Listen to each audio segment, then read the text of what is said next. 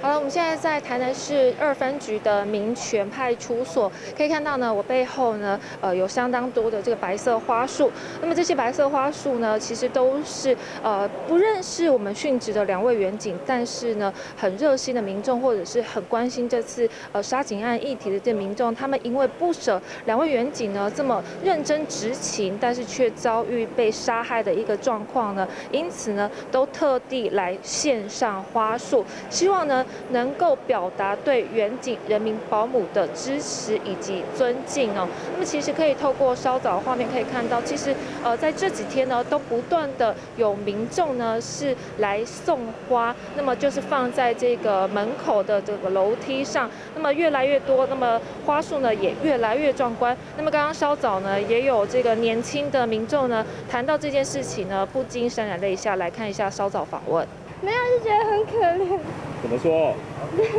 觉得很惋惜，对不对？对，就是觉得他们就是保护人民的安全，然后很艰苦这样，就觉得我想要去送花给他们，就至少可以表达一些我们对他们的尊敬这样。发生这种事，其实真的很难过啊，可以说，因为其实对于警察这个执执勤的使用枪械这件事情，其实已经被关注非常多了，但是其实到现在还是有很多